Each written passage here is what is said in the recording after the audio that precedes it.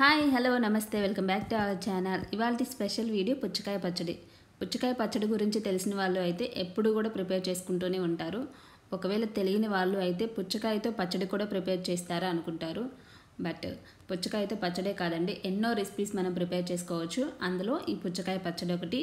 So తెలియని వాళ్ళైతే ఖచ్చితంగా ఈ పుచ్చకాయ పచ్చడిని ప్రిపేర్ చేసుకోండి చాలా అంటే చాలా టేస్టీగా ఉంటుంది. సో మనం ఎప్పుడు ఇంట్లో ప్రిపేర్ చేసుకుంటాం కదా పచ్చిమిరకాయ పచ్చడి అండ్ చింతొక్కు పచ్చడి ఇలా మనం ప్రిపేర్ చేసుకుంటాం కదా ఈ పచ్చళ్ళ కన్నా కూడా ఈ పుచ్చకాయ పచ్చడి అనేది చాలా అంటే చాలా టేస్టీగా ఉంటుంది. నేను ఆల్రెడీ టేస్ట్ చూసి మీతో షేర్ చేస్తున్నాను. సో చాలా టేస్టీగా ఉంది. ఇప్పుడు ఎలా ప్రిపేర్ చేయాలో చూసేసేయండి. ఫస్ట్ పుచ్చకాయ తోలు తీసుకోండి. ఆ తోలు మీద ఉన్న గ్రీన్ అంతా కూడా పీలర్తో తీసేసేయండి. తర్వాత ఓన్లీ వైట్ వరకు మాత్రమే ఈ విధంగా చిన్న చిన్న ముక్కలుగా కట్ చేసుకొని ఒక కప్లో తీసుకోవాలి. నేను ఈ కప్ నిండుగా తీసుకుంటున్నాను. తర్వాత స్టవ్ మీద ఒక కడాయి పెట్టుకొని అందులో one and half tablespoon oil add చేసుకోవాలి.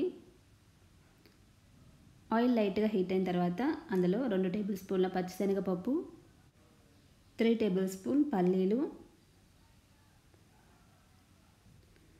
తర్వాత ఇందులో ఒక ఐదారు పచ్చిమిర్చిని కూడా యాడ్ చేసుకొని వీటన్నిటిని కూడా ఒక సెవెంటీ పర్సెంట్ కుక్ అయ్యేంత వరకు వేయించుకోవాలి.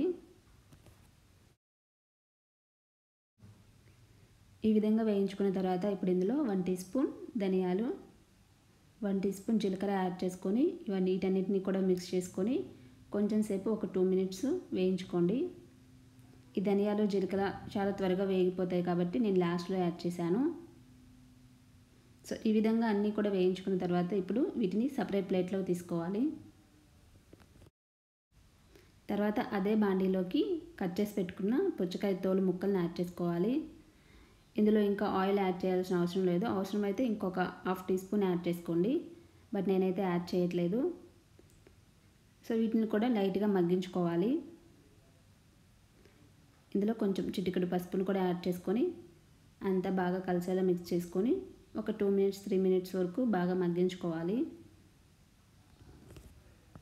ఇందులో నేను కొంచెం వన్ టీ స్పూన్ చింతకాయ పచ్చని యూజ్ చేస్తాను. అంటే చింతొక్కును యూజ్ చేస్తాను.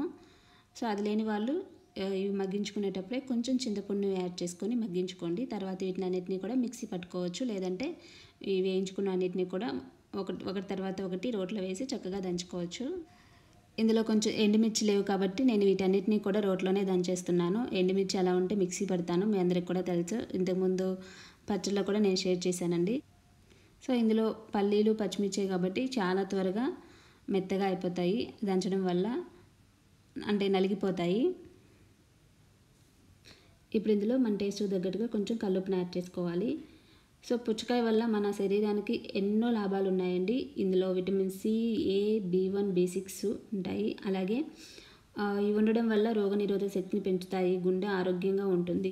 అలాగే ఇందులో లైకోపిల్ అనే కొలెస్ట్రాల్ ఎక్కువగా ఉంటుంది. దానివల్ల రక్తపోటును తగ్గిస్తుంది ఆకలి అదుపులో ఉంచుతుంది. అలాగే పుచ్చకాయలో పీచు కూడా ఎక్కువగా ఉంటుంది. దానివల్ల మనకి త్వరగా ఆకలి వేయదు. అలాగే బరువు కూడా అదుపులో ఉంటుందండి. అండ్ అలాగే జీర్ణక్రియ సాఫీగా జరుగుతుంది. మలబద్ధకం సమస్య ఉండదు. అలాగే విటమిన్ ఏ సి ఉంటాయి కాబట్టి జుట్టు చర్మం ఆరోగ్యంగా ఉంటాయి. సో మన చర్మాన్ని కూడా బాగా మెరిసేలా చేస్తుంది ఈ పుచ్చకాయ. ఈ పుచ్చకాయ మన శరీరానికి ఎంత మేలు చేస్తుందో నాకు తెలిసింది మీతో షేర్ చేశానండి. ఇవే కాకుండా ఇంకా చాలా మేలు చేస్తుంది ఈ పుచ్చకాయ. సో మన సమ్మర్లో ఎక్కువగా తింటూనే ఉంటాము. తీసుకొచ్చుకున్నప్పుడు ఇలా తొక్కును పడేయకుండా ఈ విధంగా పచ్చడిగా కూడా ప్రిపేర్ చేసుకోండి. చాలా అంటే చాలా టేస్టీగా ఉంటుంది. దీన్ని రైస్లోకే కాకుండా దోశల్లోకి ఊతప్పంలో కూడా తినొచ్చు. రైస్లో వేడి వేడి అన్నంలో నెయ్యి వేసుకొని తింటే చాలా అంటే చాలా టేస్టీగా ఉంటుంది. ఇందులో నేను చింతొక్కుని యాడ్ చేశాను. అలాగే మగ్గించి పెట్టుకున్న పుచ్చకాయ ముక్కలను కూడా యాడ్ చేసి కొంచెం వాటర్ని కూడా యాడ్ చేసి బాగా మెత్తగా వచ్చేలా బాగా దంచి పెట్టేశాను. అండ్ అలాగే ఒక ఉల్లిపాయను కూడా యాడ్ చేసుకున్నాను. ఇప్పుడు అవసరమైతే తిరగమాత పెట్టుకోవచ్చు. లేదంటే డైరెక్ట్గా కూడా మనం సర్వ్ చేసుకోవచ్చు అండి ఇప్పుడు అదే బాండీలో తిరుమతి పెట్టేస్తున్నాను. కొంచెం ఒక half teaspoon oil add చేశాను. లేదంటే వన్ టీ స్పూన్ అయినా యాడ్ చేసుకోండి. సో తిరుమతికి సంబంధించినవన్నీ కూడా ఇందులో యాడ్ చేస్తున్నాను. ఆవాలు జీలకర్ర యాడ్ చేశాను. అలాగే ఎండుమిర్చి ఒక రెమ్మ కరివేపాకు అండ్ వెల్లుల్లి కూడా యాడ్ చేసుకోవాలి. సో వీటి వరకు నేను యాడ్ చేశాను. మీరు అవసరమైతే పచ్చిశనగపప్పు అలాగే మినపప్పును కూడా యాడ్ చేసుకోవచ్చు. నేనైతే ఇందులో ఇంకా ఏమీ యాడ్ చేయలేదండి. వీటి వరకే యాడ్ చేశాను. సో తర్వాత మనం దంచి పెట్టుకున్న పచ్చని ఇందులో యాడ్ చేసుకొని పోపు అంతా కూడా కలిసేలా మిక్స్ చేసుకొని తర్వాత స్టవ్ ఆఫ్ చేసుకొని సర్వ్ చేసుకోవడమే. చాలా అంటే చాలా టేస్టీగా ఉంటుందండి. మీరు కూడా తప్పకుండా ఒకసారి ఇలా ట్రై చేయండి. ట్రై చేసిన తర్వాత ఎలా ఉంది అనేది నాకు కామెంట్స్లో తప్పకుండా షేర్ చేయండి. సో చాలా బాగుందని మీరే అంటారు. సో ఇంతే అండి. చాలా సింపుల్. వేడి వేడి పుచ్చకాయ పచ్చడి రెడీ అయిపోయింది. సో మనం మామూలుగా పచ్చళ్ళు ఎలా ప్రిపేర్ చేసుకుంటామో ఇది కూడా అలానే ప్రిపేర్ చేసుకుంటాము. సో ఈ వీడియో మీ అందరికీ నచ్చిందా? నచ్చినట్లయితే షేర్ చేయండి లైక్ చేయండి కామెంట్ చేయండి.